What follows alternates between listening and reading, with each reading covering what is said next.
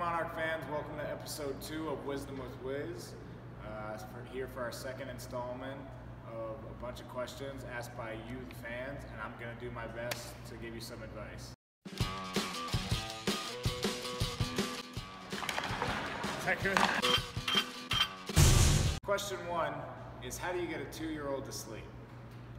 I think if you have the time, take a quick trip up to Glens Falls, New York, go to an Adirondack Thunder game, and let your baby rock himself to sleep, because that's a snooze fest. So, question two is How do I become a better historian?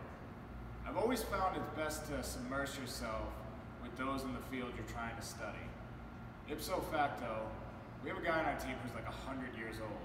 So, if you want to become a better historian, just ask Jordan LaVallee-Smotherman out on a date and pick his brain.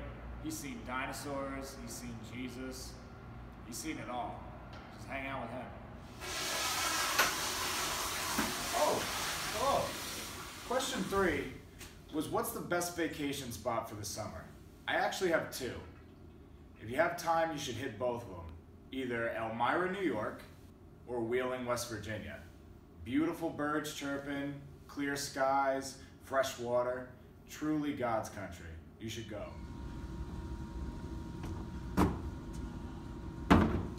So for question four, I was asked, are corduroys in?